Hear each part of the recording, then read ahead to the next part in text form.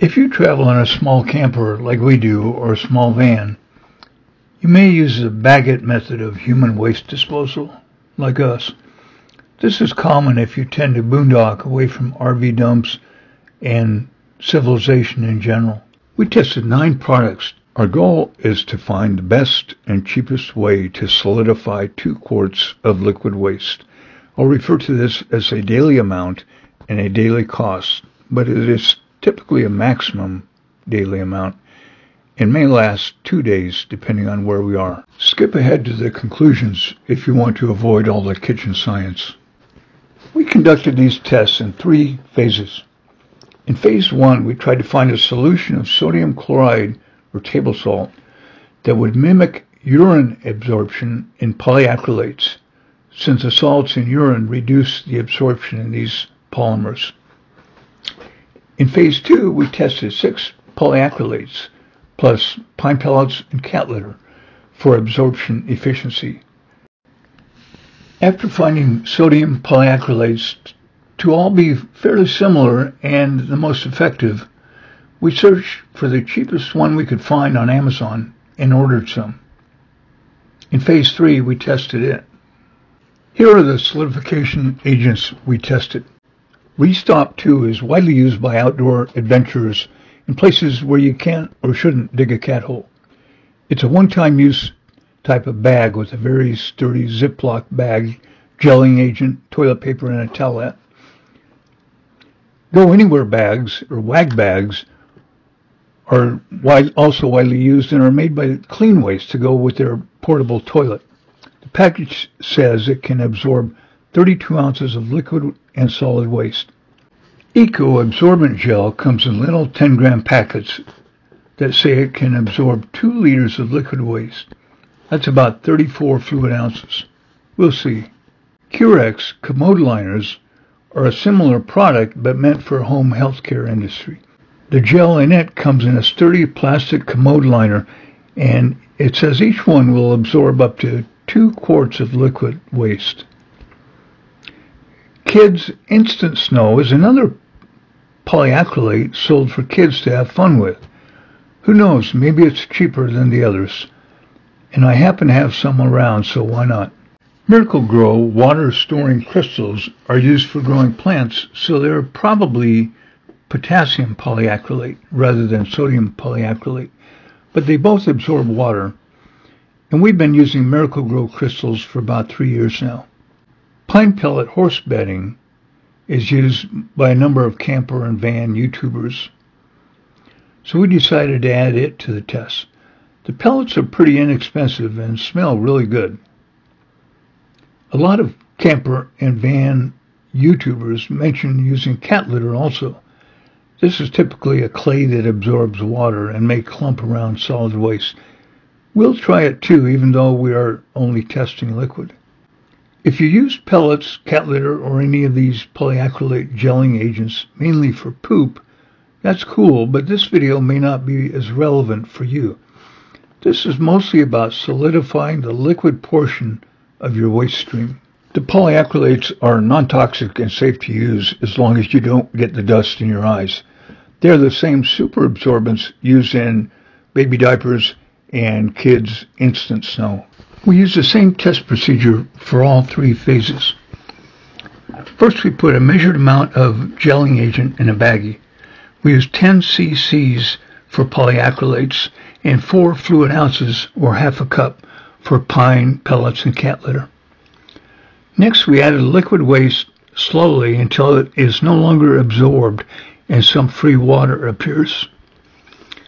Finally, we poke holes in the bag to drain any free liquid and weigh each bag to determine the amount of liquid that was absorbed.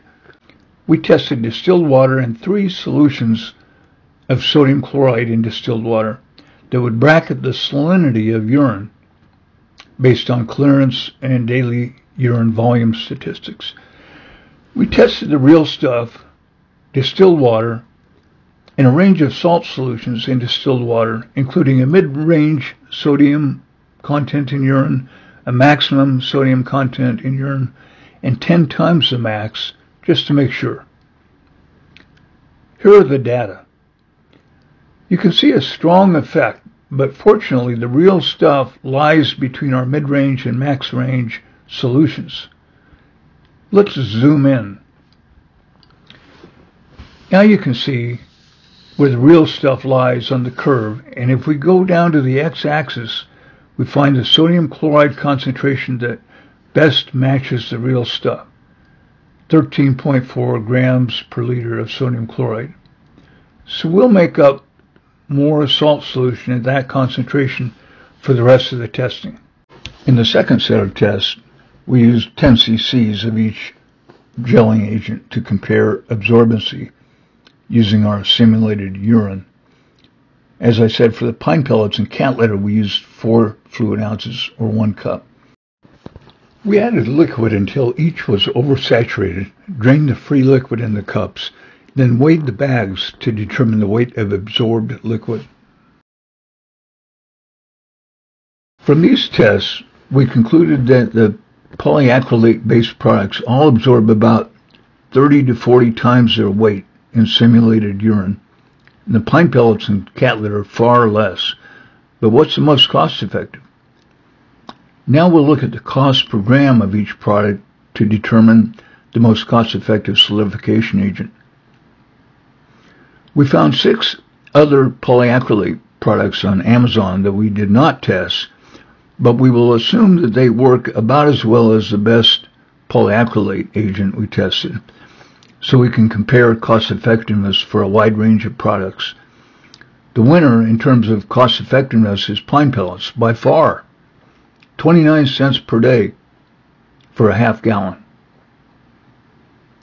And the most cost effective polyacrylate product appears to be Wenge de degradable gel. For our half gallon design basis, we need only four to six tablespoons of polyacrylate products, but we need over a quart of pine pellets and nearly five pounds of cat litter. This amount of pine pellets or cat litter will fill up your toilet without much room for waste, so these are both a fail for now, but stay tuned. In our Wenge gel test with simulated urine and the real stuff, we confirmed that the new product was similar to the other polyacrylates, but even a little more absorbent, and that the case with the real stuff was very close to the simulated urine, but a little bit better. So with the new data, we find that only about 48 cc's of Wenge, or about two capfuls, was needed to solidify a half gallon of real urine and its cost ended up being only a dollar fifteen a day.